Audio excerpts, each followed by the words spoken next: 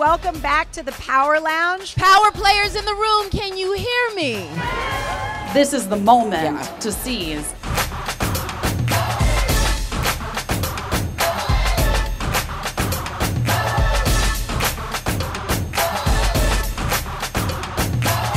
If you fuck with feminism, come on over. We're going to get right into it. If you're into astrology, and I'm an astrology girl, you know we're about to enter Pluto in Aquarius.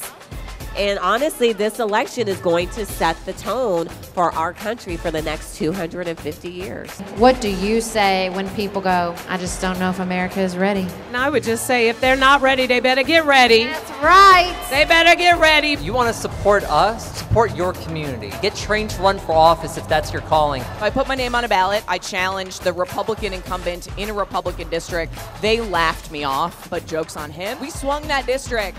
As someone who was hoping to be the first East Asian and Japanese Mainer to be elected to the Maine State Senate, I want to make sure that when I look around at our caucus of people of color, that there are a lot of us. There's another little Kamala somewhere that is being raised by two immigrants, and she needs to see that she can really realize what this country promised us.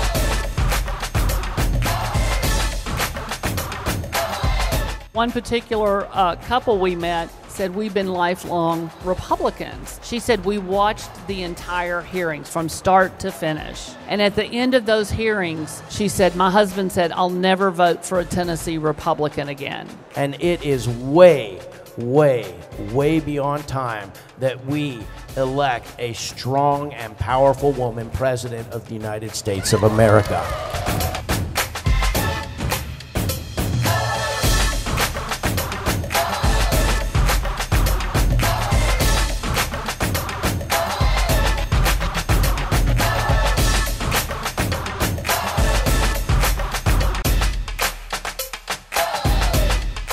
We just need those good women who are putting their name on the ballot because you can't vote for the good woman if her name isn't on the ballot.